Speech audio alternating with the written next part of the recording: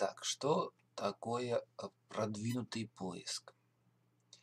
Изначально Сандик и его поиск работает по модели Headword or Text. Он ищет как в заголовках, так и внутри текста.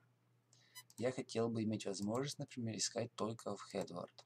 То есть смотри, если я ищу по суффикс по концу слова, хочу найти все слова, которые заканчиваются на дева.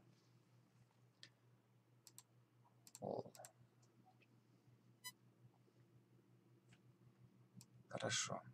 Значит, 488 слов. Но при этом своембху не заканчивается на дева. Но внутри словарной статьи есть это дева. Так вот, я бы хотел возможность искать только, например, по заголовкам, как один из режимов. И оказывается, что слов на 100 слов меньше. Вот. Это один режим. В интерфейсе, в поиске это можно, наверное, дроп-даун, сделать еще один дроп-даун, где мы ищем в заголовках, внутри текста. То есть по умолчанию здесь ищет и внутри текста, и в заголовках. Это раз. Два. Значит, сейчас поиск не различает. Я хочу найти в начале слова.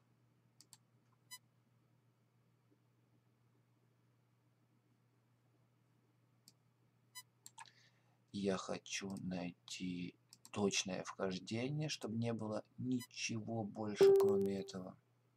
То есть именно это одно. Ни длиннее, ни короче. Инфикс это то, что должно быть внутри, не в начале, не в конце, а внутри.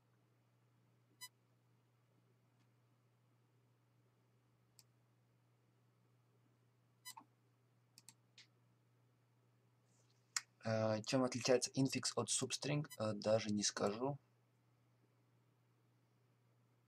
Надо проверять.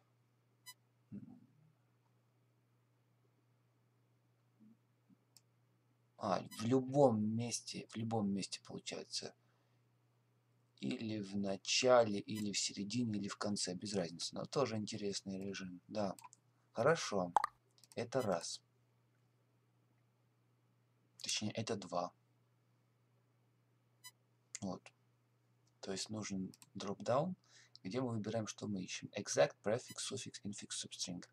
Код, э, весь этот код можно попросить у Джима, он выдаст исходники, если это, это ну, нужно, если это необходимо. Я не думаю, что есть смысл, но, но тем не менее.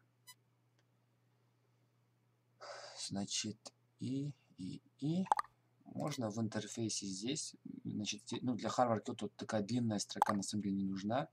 Можно многие настройки здесь внизу вынести. Значит, поиск, в поиске работают регулярки. Но, например, я бы хотел...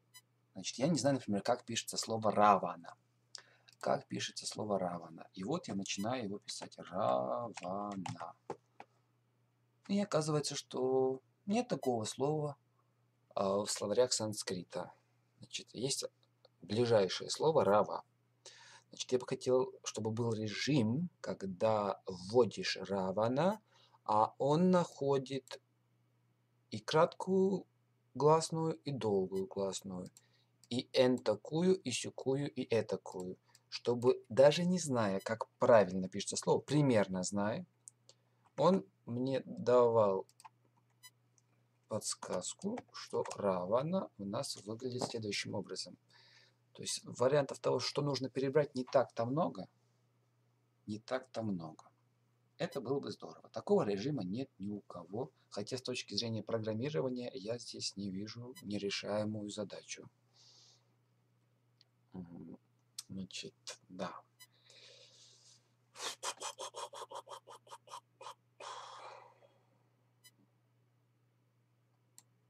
И здесь есть три словарные статьи, которые находятся не по алфавиту.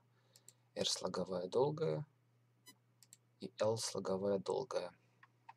Они не должны быть в конце. То есть есть вопросы и по самому алфавиту.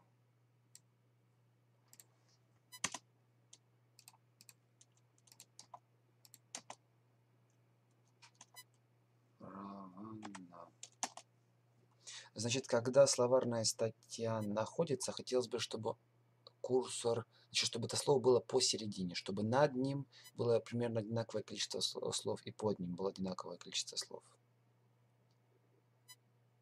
Да, и, пожалуй, по умолчанию Кегль в списке надо увеличивать, он мелковат, мелковат.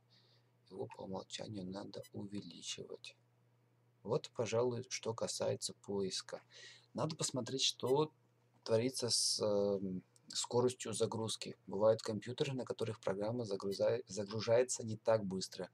Скорее всего, это связано с объемом базы данных. Возможно, сразу не загружать все три словаря, не знаю, по умолчанию загружать там Монни Вильямс, а потом при желании пусть человек там, не знаю, нажимает галочку и происходит дозагрузка или там фоновая дозагрузка, когда уже чтобы первое окошко программы открылось побыстрее. Возможно ли это?